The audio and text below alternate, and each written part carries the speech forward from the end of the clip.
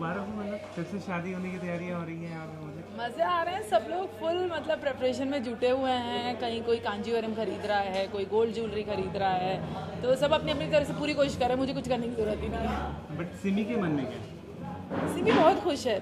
अभी इस सीन में यही हुआ है कि सुबह का फ़ोन आया मुझे अमेरिका से स्पेशली और मुझे मतलब अभी इससे पहले परम ने कभी ऐसा स्पेशल फील नहीं कराया। तो एक अलग सी फीलिंग है कि उन्होंने बताया वहाँ पे कोई ऐसी ऑर्गेनाइजेशन है जहाँ पर आप जिनसे प्यार करते हैं उनके नाम पे स्टार खरीद सकते हैं।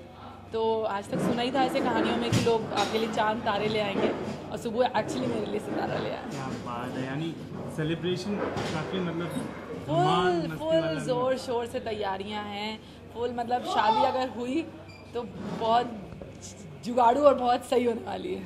भल्ला हाउस मतलब भल्ला हाउस की ये मोहब्बत की बात करें तो एक हाई पॉइंट होता है नहीं शादियाँ। एवरी टाइम आई थिंक जो भी शादियाँ हुई हैं कहीं ना कहीं उसमें एक यू नो मसाला होता है एंड मोमेंट पे जाके पता चलता है पर कहीं ना कहीं एक ट्विस्ट एक मज़ा ज़रूर होता है। तो आई थिंक इस शादी में भी कुछ ऐसे ही होने वाला है। इतनी आसानी से जाने नहीं देंगे इस शादी को। आपने कुछ सोचा क्या होगा इस बार पूरा शादी का डिज़ाइन कपड़े?